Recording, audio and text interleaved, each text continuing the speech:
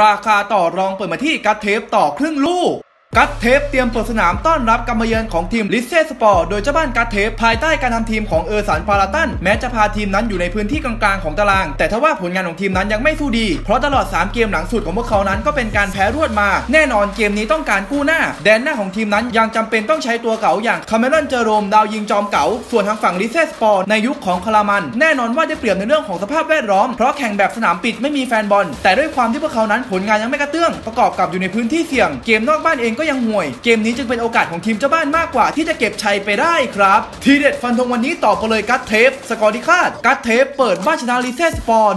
1-0 ต่อ Abracadabra. ISC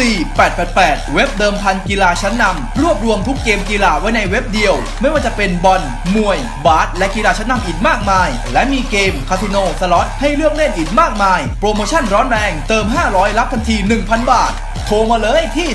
089 000 0366 หรือแอดไลน์มาที่ ISC